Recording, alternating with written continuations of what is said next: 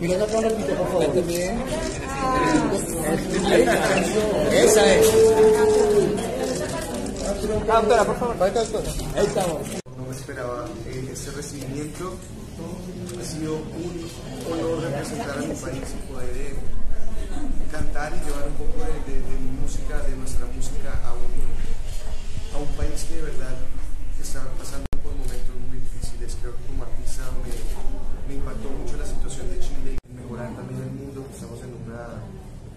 época y una etapa crucial. Así que agradezco que estén acá, agradezco esta oportunidad que en menos de dos tres días pudimos organizar esto y, de verdad es un honor traer esta gaviota.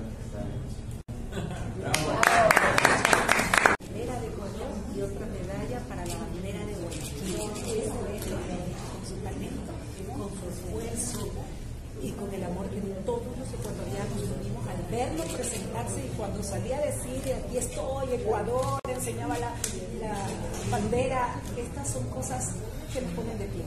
cercanía con el público.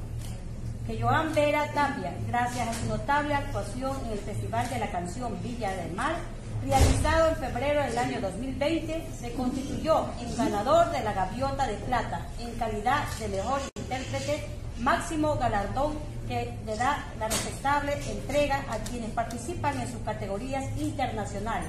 pero ahí queda el